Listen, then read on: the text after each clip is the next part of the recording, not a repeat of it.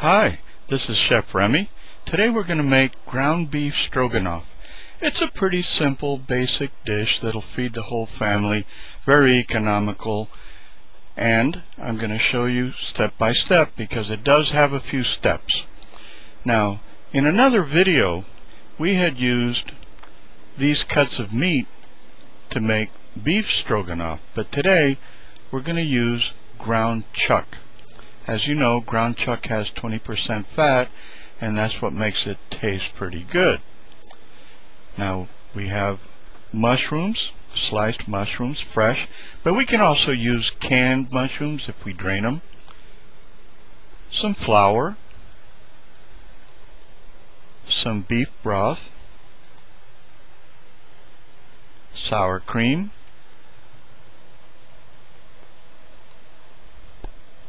egg noodles, or you could cook up some rice, onion and garlic, salt and pepper, of course, and two tablespoons of ketchup. Now, let's start prepping some of the items. By the way, we didn't need the butter. That was for another recipe. Okay, we take a quarter cup of flour and a third cup of broth and we put it in a jar like this.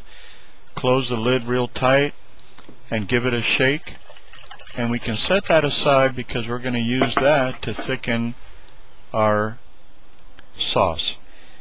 Now here's a half a cup of onions that we're prepping and a couple of cloves of garlic and we're setting things in bowls getting it ready. Now we're going to make a mixture in that bowl you see there with salt, garlic, one cup of broth, and two tablespoons of ketchup. We give it a stir, stir up the, the mixture and set it aside also. Now here we have mushrooms ready to go, three cups. We could have used these, but of course you want to drain them real well.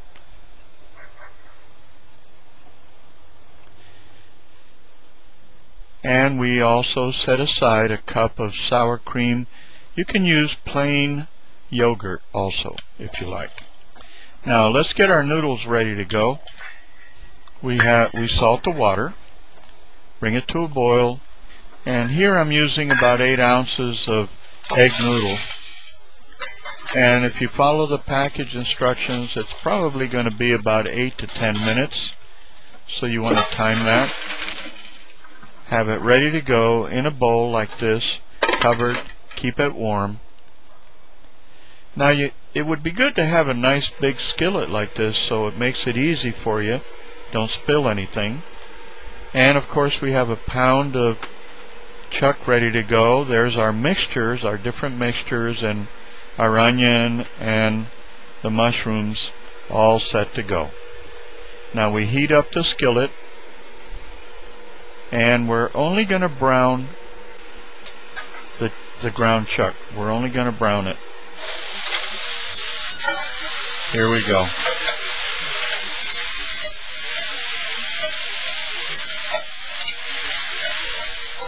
Now when it loses its pink color like this, then we go to the next step, is to drain the fat. You want to get rid of that. And then spread it out into the skillet like so. And here's our mixture of broth, salt, garlic, and ketchup. Now this is going to simmer. Once you get it boiling, you turn the heat down and you cover it and let it simmer for about 10 minutes and that's going to build up another layer of taste. Very, very nice. Okay, so after about 10 minutes,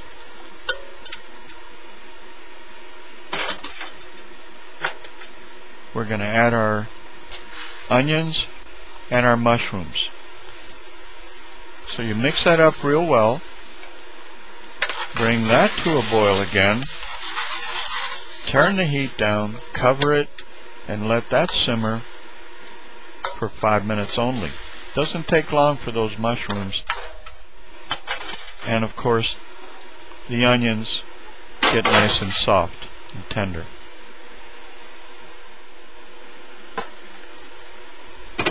Alright, here we go another step. This is where we're going to thicken the sauce. So we're turning our heat back up again and we're going to swirl this around really good and watch it get nice and thick.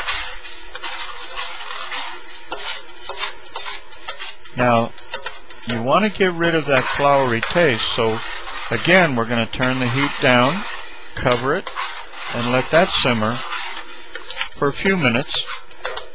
Now, I put the videocook.com, my website there for you. Uh, hopefully you might come over and visit us.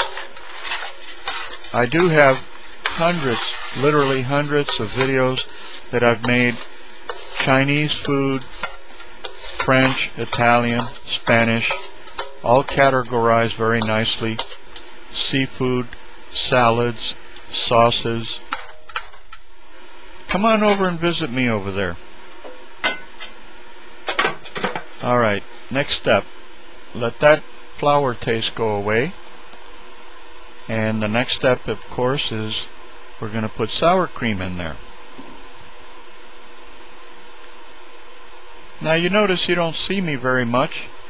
I try to keep these videos short. I don't have music, no fanfare. I think that's best. The whole idea is to learn how to make these basic dishes here comes the sour cream. Now, remember the sour cream is cold, so what we want to do is mix it up in there really good, cover it up again, and let it get hot. Make it hot. And that's the last step.